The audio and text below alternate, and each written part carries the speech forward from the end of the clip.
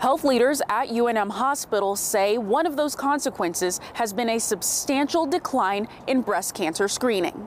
As states reopen businesses and ease restrictions, many healthcare facilities are starting to offer more procedures again, including cancer screenings. So, for cancer patients, and particularly for breast cancer patients, it's been a hard year. October is Breast Cancer Awareness Month and doctors are urging patients to get their screenings as soon as possible. It's really an important month, more so than any other year, that women get their mammograms and get their appropriate breast cancer screening. The American Cancer Society in New Mexico reports about 1,570 New Mexicans will be diagnosed with breast cancer this year and an estimated 280 will die from the disease. Um, getting your routine health screening, including mammograms, is totally reasonable, safe, and, and the right thing to do. Health leaders say cancer is most easily treatable when it is caught early. So, if it's found early by screening before there's symptoms,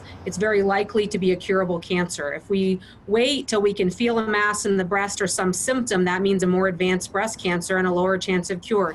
Healthcare leaders say that women between the ages of 50 and 70 years old should get an exam by their primary doctor or their OBGYN every year or every other year. In Albuquerque, Shelley Leggett, KOAT Action 7 News.